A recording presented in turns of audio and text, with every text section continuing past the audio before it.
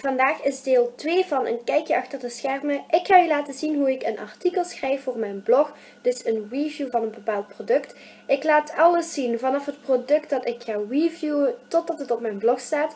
Dus ik zou zeggen, heel veel plezier met kijken en doe alvast een duimpje omhoog en ook zeker niet vergeten te abonneren als je het nog niet gedaan zou hebben.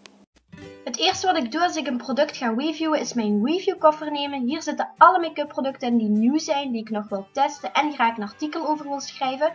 Zoals je ziet zijn dit best veel producten en nu ben ik aan het kijken waar ik zin in heb om te reviewen. En ik heb gekozen voor het Essence All About Chocolate palette, want ik vind dat een oogschaduw palet het meeste tijd steekt en ik had er vandaag eigenlijk echt wel zin in. Dan ga ik mijn foto's maken en ik heb gekozen om het op de ondergrond van de koffer te doen. Het zag er heel mooi uit vond ik. Ik maak mijn foto's altijd met de iPad en als ik eens een flitsfoto wil dan gebruik ik de Sony camera waar ik nu mee aan het filmen ben. Sorry voor het iets slechtere beeld, maar ja, ik had de iPad nodig voor de foto's. Ik vind het fotograferen van de producten echt heel erg leuk. Ik leg het paletje open, ik doe close-up foto's. Ja, ik amuseer me er echt helemaal mee.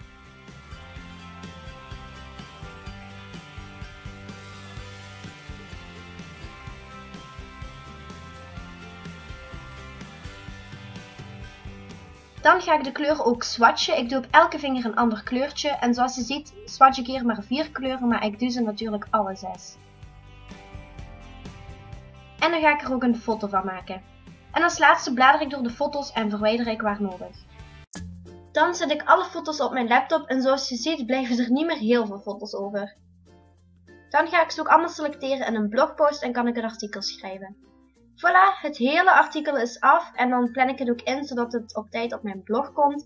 En ik doe zo'n 1 à 2 uurtjes over een artikel met een oogschaduwpaletje. Soms al wat langer, soms al wat minder lang. Dat verschilt echt, maar ik zeg je, er steekt heel veel tijd in als je een goed kwalitatief vol artikel wilt schrijven. En het leukste is dan jullie comments lezen, maar ja, die zijn er nog niet, want het staat er pas op.